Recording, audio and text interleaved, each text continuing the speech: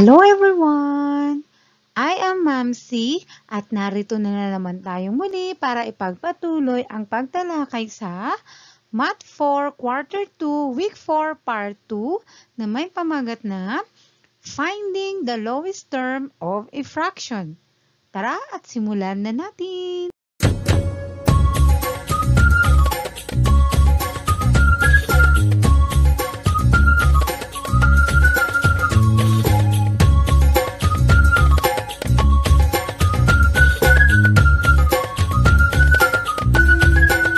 Let's look back. Greatest common factor or GCF, it is the largest or greatest number that is a factor of two numbers. And there are different ways to find the GCF. So we have listing method, prime factorization method, and continuous division method. Hmm. Let's think about this. How will you find the lowest term of a fraction? So, example number one is we have 2 fourths. Para makuha natin ang lowest term nito, sundin lamang po ang steps na to. So, step 1 is find the prime factors of the numerator and the denominator.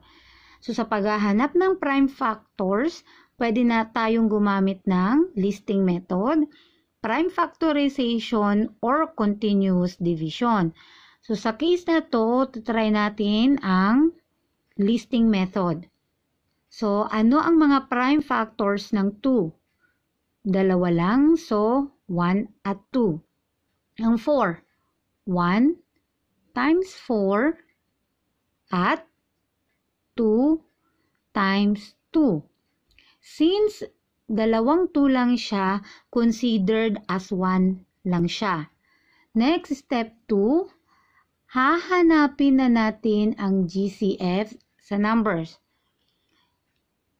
Kunin natin yung parehas na number na meron.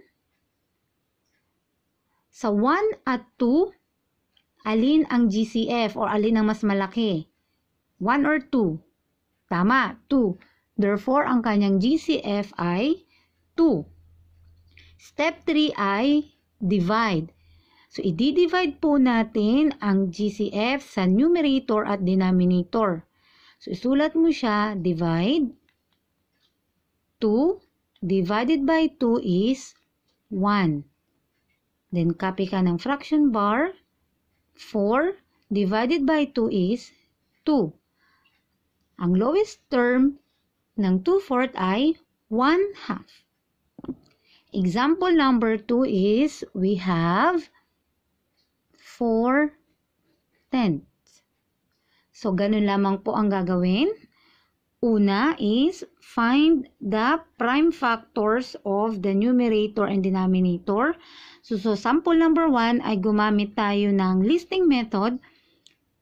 Sa sample number 2, ipapakita ko sa inyo ang prime factorization method. So, kunin natin yung 4 at 10. Anong prime factorization ng 4? We have 2 times 2. Sa 10, we have 2 times 5.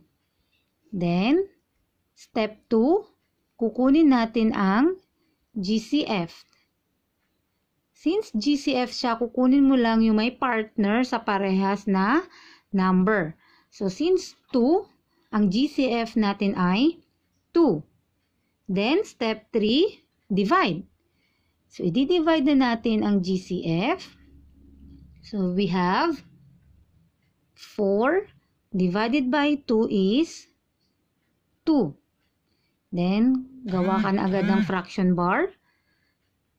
10 divided by 2 is 5.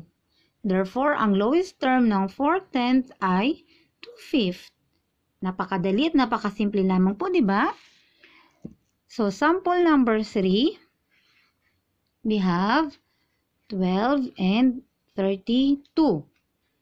So, this time, papakita ko sa inyo yung dalawang method or sample ng pagkuha ng prime factors. So, unahin natin ang listing method. So, we have 12 and 32. Ano-ano ang mga factors ng 12? So, we have 1, 12. We have 2 and 6. Then we have 3 and 4.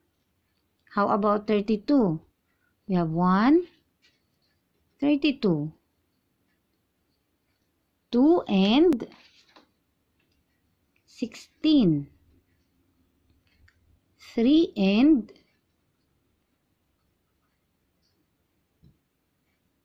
oh, sorry, 4 and 8. Meron pa ba? So, wala na. Yun lang. So, kunin natin ang mga pares na number na meron. So, we have 1, 2, 4. Wala na. So, ang common factors ng 12 at 32 ay 1, 2, at 4. Alin ang malaki? So, we have 4. Ang GCF ng 12 at 32 ay 4. So, proceed tayo sa step 3. We have 12 divided by 4 is 3. Then, kopya yung fraction bar. 32 divided by 4 is 8. So, ito ang lowest term ng 12 and 32 or 12 over 32. Now, papakita ko din ang sample kung ginamit natin ang prime factorization sa paghahanap ng lowest term ng 32. So, we have prime factorization. We have 2 times 2 times 3. Ang 32 ay 2 times 2 times 2 times 2 times 2. So, GCF 1, 2. So, 2 times 2 is 4. Now, since may GCF na tayo, proceed tayo sa division. So, we have 12 divided by 4 is 3 gawa ng fraction bar. 32 divided by 4 is 8. So, same thing lang. So, ipinakita ko lang kahit anong method ang gawin mo sa paghanap ng prime factors, it's either listing method or prime factorization, magbibigay pa rin ito ng same result. So, ganun lamang po ang paghahanap ng lowest term ng fraction.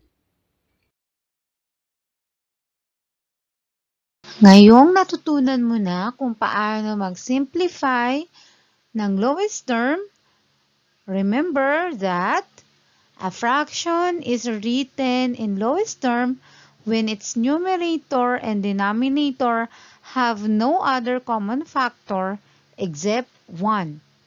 And to reduce or simplify a fraction to its lowest term, find first their GCF, and then divide both numerator and denominator by the GCF. Ganun lamang po kadali at kasimple at sana ay may natutunan kayo sa video na ito. Thank you for watching guys! I'm Mamsi and please don't forget to click like, share, and subscribe. Thank you!